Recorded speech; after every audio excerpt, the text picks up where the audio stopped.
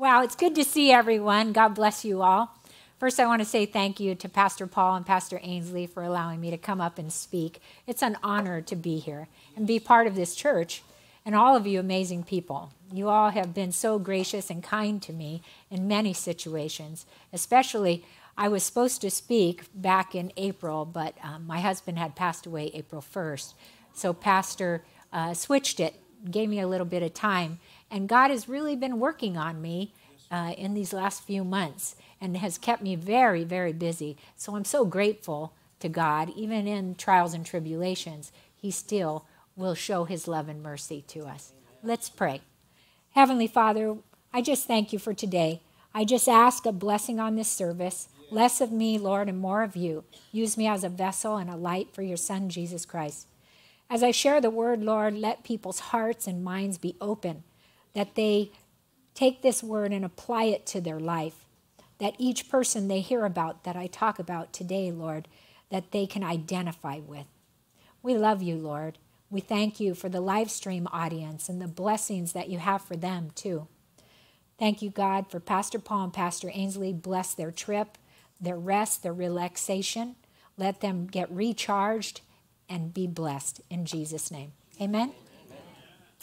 So, the title of the message is More Than What's Required. Uh, like all of you, I sit on my same spot every week and or I'm online watching and I saw our sign in the background that was right here, our theme for the year, Go the Extra Mile. And it reminds me of people in the Bible that have gone that extra mile, those that didn't give up and pursued what needed to be done. Before God called me into ministry, I had my own business. I traveled and spoke at large meetings and conventions. Our teams grew uh, here in the States and then internationally. I have always believed in the Lord, and my thought was I was meant to fund the kingdom and to help people and help the church. And that's pretty much what I did. I, I loved that. I'd volunteer and stuff, but I loved doing the fundraisers and organizing and helping. One of my favorite organizations to support at that time was a missions project in Brazil called the More Project and it was led by Sergio Ponce. Once my business took off, that was one of the main projects that I supported besides my own local church. So let me tell you a little bit about this MORE project. Sergio Ponce was a dentist who gave up his practice to help save the children in Brazil that lived in the favelas. So, in the favelas, the kids are used for sex trafficking, uh, they're used for drug trafficking, they're entered into gangs at a young age, and the drug lords control the area. I remember when our team went out there to support the More Project, um, they had to pull us all back because someone, one of the drug lords, put tires in the middle of the area and put someone in it and lit it on fire to say, you know, they're ruling this area. In fact, Sergio Ponce went in front of some drug lords while they had AK-47s pointed at his head and said and he said, "I'm not leaving this place without this young man." So he stood his ground. And as you can see, Sergio went the extra mile for his organization. I thought it was great because I was funding the kingdom and helping, but here he is doing all the work. Then one day the Lord spoke to me through a personal situation I was going through. He was asking me to let everything go and to serve him. But like Jonah, who left to Tarshish, I left to Thailand. The personal situation was too much, and I could not see myself doing what the Lord had asked me to do because I kind of felt people betrayed me. And He asked me to do it. I need you to serve me. But at that point, I was a little selfish in my mind and I didn't care. I was like, no, I'm leaving. I'm tired of all this. It's almost like I'm tired of doing all this good work and you're not hearing me, God. So I was like a little kid and threw a temper tantrum, kind of like Jonah. This is what happened in Thailand. So imagine I left to Thailand, which was an unusual thing for me to do. I never liked traveling, and I called my best friend, Denise Sincox, and I said, uh, we're going to Thailand. Tell your husband. I already got our tickets and we're on our way. And she said, Okay. Well, her husband, he's a good man and he knows me, he let her go. But when we went, we went during a time where there was curfew, there was rioting going on, and you were not supposed to be out in the street after a certain time. But my attitude of, I don't care, we're going. After 25 hours plus flights, stopping in Japan, I didn't sleep the whole time. I was wide awake, still being stubborn. Well, we get there. We're the only ones on the road, headed to the hotel. God was with us. We didn't get in trouble. But the next day, our tour started. And I'm going to show you some images. So they took us and, and we spoke in, a, in big, large groups. Uh, we went to different locations and they took me around to see the sites, all their gods, the reclining Buddha, the big Buddha that's all of gold. And uh, me and Denise even got in trouble at uh, the, the beautiful place where the palace was because we were jumping around and the guards came over and yelled at us. Well, when God uses you and He wants you to do something, He's kind of putting people in your path. So even every person, especially Kuhn, one of the ladies, she was a Christian. And she was a Christian in Thailand. And she said, I know you're a Christian because I see you, I follow you. So she literally starts bringing more Christians around me. And I go, I see you, God. I know what you're trying to do. My answer is still no. When I got home, I felt the tugging at me again to go to this special women's conference where he wanted me to seek him. And I still said no. All my friends were calling me, but seven of them in a row called. The last woman that called me, I felt guilty because I couldn't say no to her. Because just months before, she called me and said, Do you know someone that can help me? My husband is sick, he's in the hospital and he doesn't know Jesus and he could die. And I was the one that orchestrated sending a pastor over there that could relate to him because he was a biker. So I sent this pastor, Pastor Tom from Bikers for Christ, over there. And he was saved. Pastor Tom was good like that. Didn't matter who he was talking to, you were getting saved. I don't know if it was his look or what. But I felt guilty so I was like, mm, okay, I'll show up. And I heard God specifically say that in, in the church service that it was important that I follow him. If I loved him, why wouldn't I go to church by myself? If I loved him, why wouldn't I spend time with him by myself? So the next day, I heard him and I went to church by myself, and he spoke to me again regarding ministry school. This call wouldn't be easy. As you can see, I had 50,000 people in my business all across the world. And I was going to have to give all of that up. And I was going to have to tell them. And everybody that I did tell was very surprised. But God got me through ministry school. Trust me, I don't like studying. It's not my favorite thing. Anybody else? Not really. Uh, it's not a favorite thing. Well, I gave up my business to serve the Lord, and He still continues today to bless me. He's never left me. Even when I acted like a spoiled brat, He still loved me, and He didn't forget me.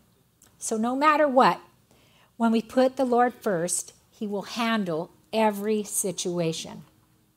Now, I told you, you know, my husband died. He's handling all that situation. I have to trust him. I have to be able to share the word because that's what he's required me to do. So I wanted to share with you some stories from the Bible about amazing people that went the extra mile. These stories will tell you about people who had hopes and dreams, doubts, fears. They had ambition. They wanted to attach themselves to a movement or a cause. They were reliable they arrived early and they really wanted people to take notice. So let's look at the first point Abram in Genesis 14 16. But let me give you a little backstory of the scripture. The kings made war in the valley of Siddim, that is the Salt Sea, and it was full of asphalt pits. In Long Beach, we call that potholes. And King Sodom and King Gomorrah fled. And some people died in battle there, and some fled to the mountains. The other kings took everything, and Lot, and his family too. But someone escaped and told Abram, and it was on. And I mean it was on, it was on like Donkey Kong. He armed 318 trained servants. So the verse says, So he brought back all the goods and also brought back his brother Lot and his goods, as well as the women and the people. He divided his forces against them by night. Abram had a military wisdom, using the clever tactic of a night attack, with his army split into two groups. He succeeded in rescuing Lot and recovering all the goods. Seized by the partners of those four kings, Abram does more than what is required for his family and for others that were with him. We may see our story in this ancient account of Abram's rescue of Lot. We were those often sin and shame, rescued by one, Jesus, who left his safety and happiness for us. Our Redeemer Jesus went to great trouble, and with his courage and daring, he defeated the mighty enemy that had put us in bondage and he took all the enemy's spoil. Amen? Amen? Point two the three wise men, the Magi, in Matthew 2 1 to 2. Let's look at that scripture. Now, after Jesus was born in Bethlehem of Judea, in the days of Herod the king, behold, wise men from the east came to Jerusalem, saying, Where is he who has been born king of the Jews? For we have seen his star in the east and have come to worship him. On today's map, Babylon would be pretty close to Baghdad, Iraq, which means the Magi would have traveled more than 900 miles to meet Jesus. By that time, they go to Jerusalem. They were looking for a child, not a baby, which implies that they had been traveling for a long time. Remember, there was no fast track road. There wasn't Tesla at that time. There was not even a plane. This was during Herod's kingship. They asked around, where can we find and pay homage to the newborn king of the Jews? We observe a star in the eastern sky that signaled his birth. We are here to give honor to this king. So they show up at Bethlehem. Bethlehem was an ancestral home of David, the king of Israel, and the founder of their royal dynasty. However, it was not a large town, it was a little town. Bethlehem was a little town, six miles to the south of Jerusalem. In the days of Herod the king, this was the one known as Herod the Great, because when you look at the Bible, you're going to see multiple Herods. Herod was indeed great in some ways, great as a ruler, a builder, an administrator. In other ways, great in politics, and he was very good at cruelty. He was wealthy, politically gifted, and clever enough to remain in the good graces of the Roman emperors. So these wise men from the east, these travelers, are called wise men. Why are they called wise men? Because it means astronomer. They were legendary. They came to Jerusalem. They expected that the leaders of the people of the capital city of the Jews would be even more interested than they were these are people that came 900 miles away to see the newborn king. They asked, Where is he who has been born king of the Jews? They traveled this great distance to honor a king. So, no more complaining if you're driving from Long Beach, you're driving from another part of Orange County. come in from San Bernardino. You know, don't complain anymore because these guys traveled far.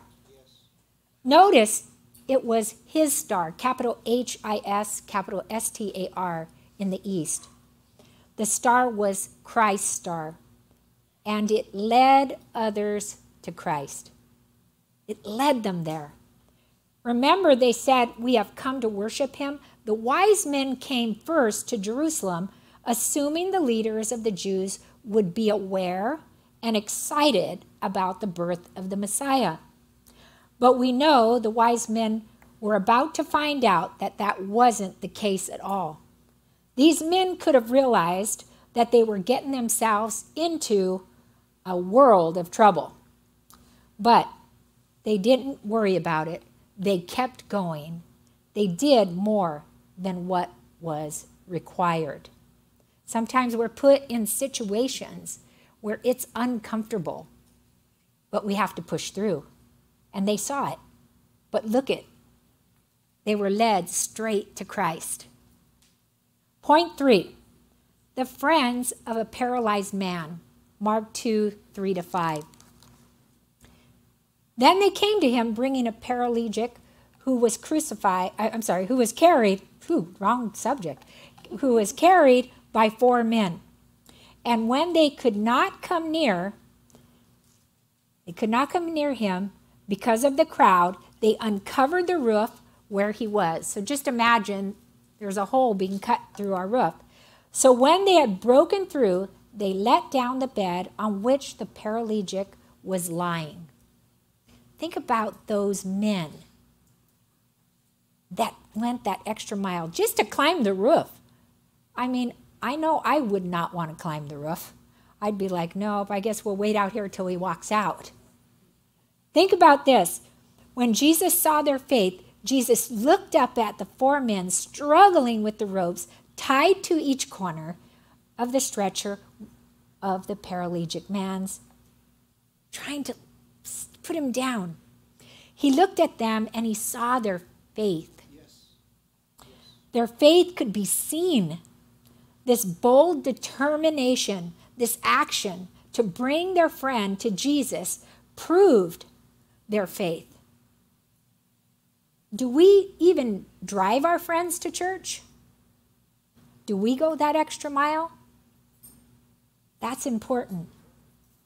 When Jesus said, Son, your sins are forgiven you, we can, could just imagine his friends looking through that little peephole they went to a lot of trouble to see their friend get healed from this paralysis. And now the teacher only wants to forgive him.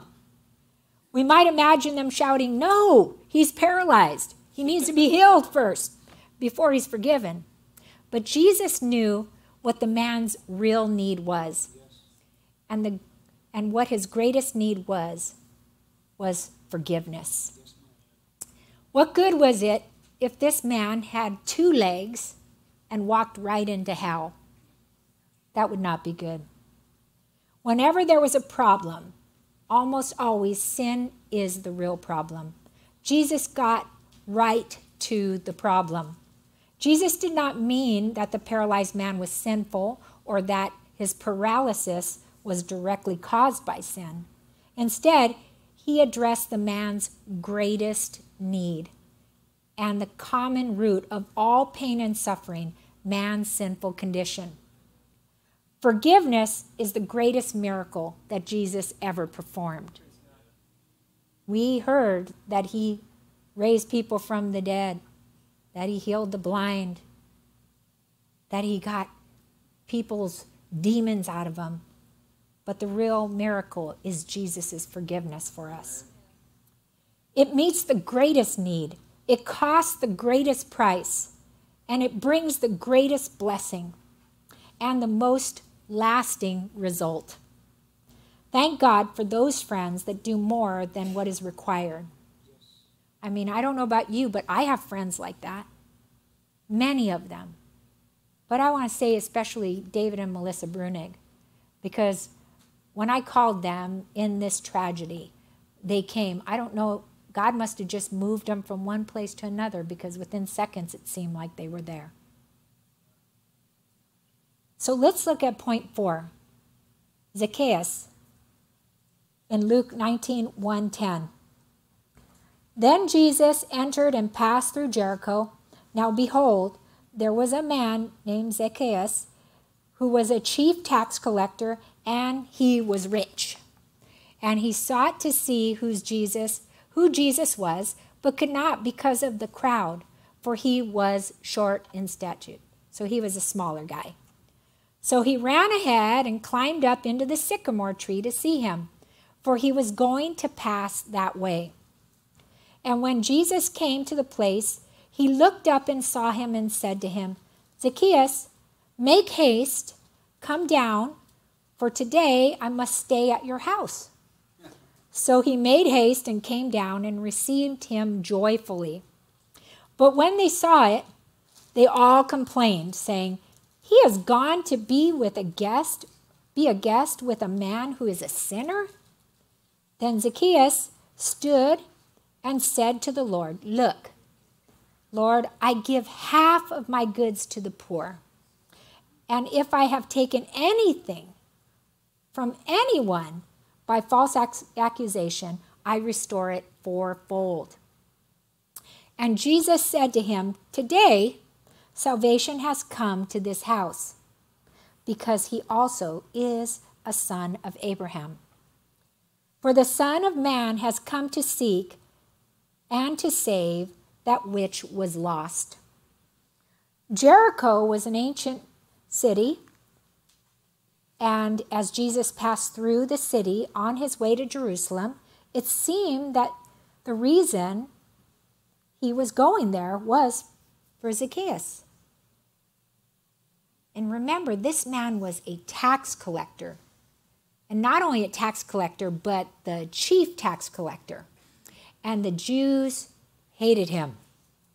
This was not only due to their natural dislike of taxes, like most of us, nobody likes tax day, right? But more so because of the practice known as tax farming. The collector made his profit on whatever extra he could get away with by charging his victims. A tax collector was highly motivated to make the taxes as high as possible. He went the extra mile in a different way yeah. Before he met Jesus. But now we see him go the other way, the other extra mile, now that he knows Jesus. Zacchaeus wanted to set his eyes on Jesus. He longed to see this remarkable man, Jesus, for himself. He was short, remember? It probably affected his personality probably didn't like people making fun of him. We could imagine they mocked him, uh, they hated him on top of it, and he decided, I'll return the favor by charging you more. So that's how he got his victims. Because Zacchaeus worked hard at risking the embarrassment to see Jesus, Jesus saw him and did not pass him by. So here he was, this tax collector, and everybody knew who he was. They were probably all, don't talk to that guy, Jesus. He's horrible. How many people have been horrible? And you've been horrible, but Jesus still, amen, back there, but Jesus still wanted you. He still loved you. He didn't care. Remember, Jesus sees you even when you're at your worst but he still loves you. In the best sense, Zacchaeus stood out to Jesus and Jesus connected with him. Jesus told Zacchaeus to hurry and come down. If he did not hurry, the opportunity might be lost. If he did not lower himself, he would never meet Jesus. And this tells us that we need to come down from our high place too might be your religion, your job, your success. Jesus would never have eaten with Zacchaeus if he stayed in the sycamore tree. So think about that. Same with me. If I would have just stayed in my business and ignored what God was telling me, I would have never have been where I'm at today. And I'm the most happiest I've ever been by loving the Lord. Jesus would only come in the house of Zacchaeus and into his life if he was invited. You have to invite Jesus into your heart. He's a gentleman. He's not going to just push his way in. He's not going to force you to love him. So if there's anyone online too that hasn't asked Jesus into their heart, all you have to do is say, I love you. I want you. Come into my life. And he'd be happy to. He receives Jesus first and then started a relationship with him. Jesus shows us that's how you do more than what is required. Now let's look at point five John the Baptist. John the Baptist, the forerunner of the word. John 1 6 to 8. There was a man sent from God whose name was John. This man came for a witness, to bear witness of the light, that all through him might believe. He was not the light, but was sent to bear witness of the light. John the Baptist bore the witness of the light, that all through him might believe. The work of John the Baptist was deliberately focused on bringing people to the faith in Jesus the Messiah. He definitely went the extra mile because I don't think any of us want to go eat locusts or honey in the wilderness. Yeah, doesn't look fun. The matter of the witness is a serious thing, establishing truth and giving ground to faith. Yet, witness does more it commits a man. If I take a stand in the witness box and testify that such and such is the truth of the matter, I am no longer natural. I have committed myself. This scripture lets us know that there are those like John the Baptist who have committed their self by their witness to Christ. When I think of John the Baptist, I think of my boss, Mr. Richard. He's 91 years old, and all he cares about is how many people have come to Christ. That's it. That's all he ever asks. He's the best boss to work for because all he cares about is Jesus. How many people did you disciple? How many people have you baptized? He's excited to hear those stories at 91 years old. And he's a successful businessman. You know, he, he doesn't have to work, but he loves going to work. He loves participating and helping other people. Point six, let's look at Mary. And some of you are Mary. I know quite a few of you. If I, if I thought of someone you reminded me of, it would be Mary. John 12, 3, 8. Then Mary took a pound of very costly oil of spikenard anointed the feet of Jesus, and wiped his feet with her hair.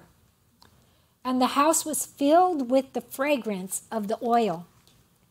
But one of his disciples, Judas Iscariot, Simon's son, who betrayed him, said, Why was this fragrant oil not sold for 300 denarii and given to the poor? This he said, not that he cared for the poor, but because he was a thief and had the money box. And he used to take what was part was was put in it. So he was kind of like his own little tax collector. I'd take a little bit off the top. But Jesus said, Let her alone. She has kept this for the day of my burial. For the poor you have with you always, but me you do not have always. Mary took this pound of very costly oil and anointed the feet of Jesus. In the midst of supper, Mary gave a remarkable gift. And she didn't just go to Costco, Walmart, the nearest 7 Eleven. It wasn't unusual to wash the feet of a guest, but it was unusual to do it during the meal itself. To use very costly oil, a spikenard, to do it, and to wipe the feet with her hair. Her hair. Using the hair as kind of a towel. Mary's gift was definitely more than what was required. When a guest entered the home, usually the guest's feet were washed with water and the guest's head was anointed with a dab of oil or perfume. Here, Mary uses this precious ointment and anointed the feet of Jesus. This means that she let down her hair in public. Sometimes that would never, actually, probably most of the time, that would never happen back in those days. But she didn't care what others thought of her. She did not care.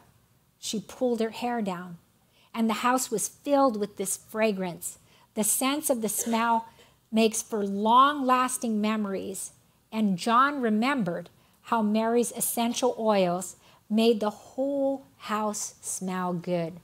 Some of you might have a memory of a loved one that has gone on to heaven, but you can still smell their perfume or the soap they used, or maybe if it was a man, their work clothes. Anybody ever smell someone and just have a memory of someone like that? Then Judas broke the embarrassed silence with his sharp sense of financial values, but no appreciation of what God, God's value was. He thought this was too much love and devotion to show Jesus. We need to be careful not to do that. Sometimes we feel that about tithing or serving or helping. So we have to be careful. He is going the extra mile in the wrong direction. But I love Jesus. Jesus said, Let her alone. You could just imagine him just straightening that out right away. If we are extreme in our love for Jesus, he will not criticize us like he did Judas. It is better to be like Mary, extreme in our love for Jesus, than to be like Judas, criticizing others who show such great love for Jesus. Jesus said, She has done this for the day of my burial. In the same way, that would be rude if we loudly object to a funeral thing, you know, someone's funeral expenses. It would have been like if somebody complained about something about a person's funeral. That would be horrible, right? Well, who are you out there? Are you Mary? We've only gone through six points and we're almost to the seven, and I haven't put you to sleep yet, so that's good. But I like to read the word. I think it's exciting on how all these examples will show us who we are, how we can apply our lives. Who are we acting like? Are we being a Judas or are we being a Mary? Now let's look at the seventh point here the Shunammite woman in 2 Kings 4 18 to 24. This is actually one of my favorite scriptures. Remember, I said I went to that women's conference and there was a female pastor from New York, and she actually spoke on this. And it stood with me because I never really understood this scripture until she read it. And it was God talking to me. Pay attention, I have something for you. Let me give you a little backstory on the Shunammite woman. In the times of Elisha, he would go through the town of Shunem, where there was a noble woman, we would say famous or an important woman. She even told her husband, This is a holy man who passes through regularly. She would show hospitality to Elijah and his helper Gehazi. They would eat at her house, and she even gave them their own room. So they had their own place to sleep and relax. All this time, she never asked for anything, and Elisha noticed. He also noticed that she had no children, so he told her she would have a son. She even said to him, No, don't joke. This is, I'm paraphrasing. Don't play with my emotions. You could have just imagined, you know, all those years not having a child, and then all of a sudden you're told you're going to have a child. But she did give birth to a son, and he grew and was out in the field with the father when tragedy happened. So let's read the story 2 Kings 4 18 to 24. And the child grew. Now it happened one day that he went out to his father to the reapers. And he said to his father, My head, my head. So he said to his servant, Carry him to his mother. So when he had taken him and brought him to his mother, he sat on her knee till noon, and then he died. And she went up and laid him on the bed of the man of God, shut the door upon him, and went out. Then she called to her husband and said, Please send me one of the young men and one of the donkeys, that I may run to the man of God and come back. So he said, Why are you going to him? It is neither the new moon nor the Sabbath. And she said, It is well. Then she saddled the donkey and said to her servant, Drive and go forward. Do not slacken the pace for me unless I tell you. You notice, she tells her husband, It's okay, I'll be right back. She never says, Our son is dead. She puts the little boy on the holy man's bed, that the bed that she provided for him. Can you imagine your only child? What kind of faith did this woman have?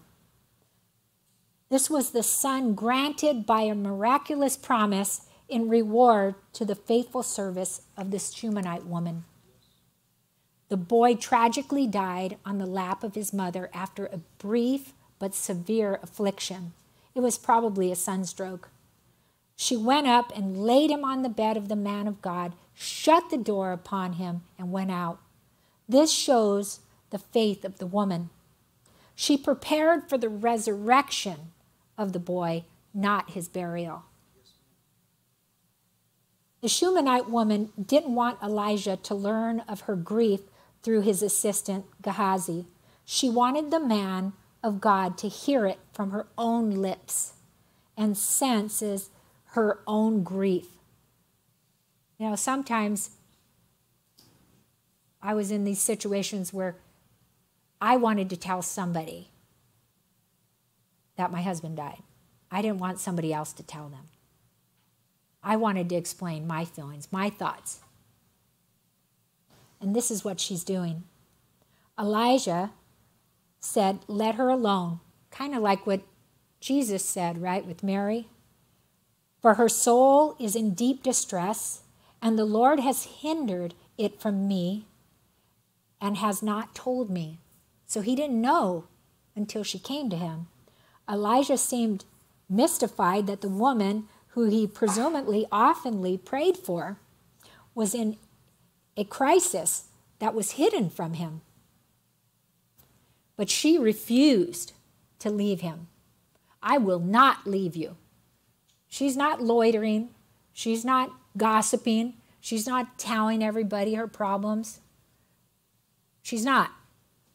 She's going right to the source. I need your help. I'm not leaving without you. She's determined.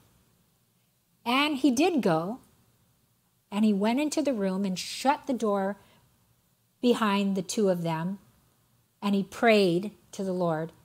God did heal the Shunammite woman's son in the response to Elijah's prayer. He prayed after the pattern shown by his mentor Elijah in 1 King 17 20 to 23. So you could take that note down. Elijah prayed with great faith because he knew God worked this way in the life of his mentor. I had mentors. Pastor Tom, um, when I was in ministry school, He's the one that encouraged me, wrote my first letter to be ordained. Pastor Tom from Bikers for Christ, I'd call him and say, I don't know what's happening and why God's using me. I don't understand it. He'd encourage me. Pastor Al taught me about the gifts of the Spirit. Each gift, he was tough. He did not let me slack. Uh, Pastor Tony Dunn, who is now Bishop Tony Dunn. He's an amazing pastor. He has his church in Corona, New Day, and then New Day International. And he is across the world now. And he was one of my mentors, but him too. He gave it to me straight. So, a mentor is important in our life. And of course, Pastor Paul and Pastor Ainsley, who just love me. I just, I, they're amazing because a lot of times you go to church. This is a great church, I have to say, if you're visiting. You go to church and the pastors don't even talk to you. You know, you walk out the door and that's it. But Pastor Paul and Pastor Ainsley will call you on the phone. How are you doing? Making sure you're okay. He also prayed with great faith because he sensed that God wanted to raise this boy from the dead. Elijah and Elisha rightly begged God to raise the dead. Jesus commanded the dead to be raised. Great news here, though. The flesh of the child became warm. Then the child sneezed seven times, and the child opened his eyes. Although miracles were for the most part done in an instant, yet sometimes they were done by degrees. I'm here in the flesh today to tell you all you are uh, amazing. You are seed on good soil. Don't get discouraged. Keep going. You will prevail. Always remember there are different kinds of people you will be speaking to. Remember, there's no limits when you're in the inner circle of Jesus.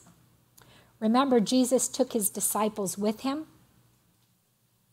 He brought them with him to watch. He took them aside to learn. And he sent them out to do. Do you realize all along he had been training you up for ministry? Jesus taught through stories and parables, and he reminds us to take up our cross daily and trust him. And when I say he's been training us up all along and we just didn't notice it, remember I told you about that man from Bikers for Christ, and I told you I'd love to do fundraisers. And we would raise money for Totally Kids Hospital in Loma Linda every year, started in 2004. And there was a man there and I walked in because it's from age newborn to 21, and most of these kids have trachs, brain damage. It's you go there, gonna, your heart's going to be crying. And there was a man, and he's laying in the bed, and he, you could tell he's a gangster, tattoos, stuff like that. But he was young. And I went immediately outside to the guys that were the biker pastors and said, "Can you come in and pray for this man? I feel like I feel like he needs prayer." They come in and this is normally wouldn't happen. They pull the shade around us. And pastor says, Pastor Martin said to me, Doreen, you pray. You're the ones that brought us here. And I'm like, I don't know how to do that. That's not my job. That's yours. You're the pastor. And as I started to pray for him and told him he was forgiven by Jesus, he was pretty much in a coma. Tears came from his eyes. And I never forget that. But then later on, when I talked to Pastor Martin, another pastor, he says, That's when your ministry started. Do you remember? I didn't even realize it. So you're going to remember that day you spoke to somebody about Jesus Christ is when that's when your ministry started, when you guided them. It will be uncomfortable. I got to tell you that because I was. Don't let excuses get in the way. People will ask you silly questions. Trust me, I've heard them all. Jesus went all the way for us to the cross he would lay down his life for you and me. There are many superheroes in the Bible. I'm asking you this week to pick up the book of Acts.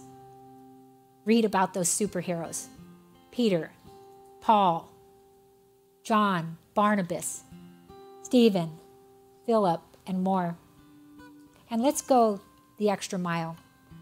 Let's do what's more than required. In Jesus' name. Amen. I want to thank you for joining us today at Hope Chapel, Huntington Beach. It's our desire to bring the teachings of this church to others globally. If today's message has brought you closer to Jesus, we want to know. Can you send us an email to office at hopechapelhb.org? Would you consider supporting this ministry financially? You can give securely online at hopechapelhb.org/give. If a check is your preferred method, you can send a mailed check to Hope Chapel, P.O. Box 548, Huntington Beach, California 92648. If you want to be contacted by Hope Chapel, would you consider subscribing to our weekly newsletters at hopechapelhb.org slash subscribe. Whatever season of life you're in, we want to go through it with you. We want to thank you once again for joining us, and God bless you.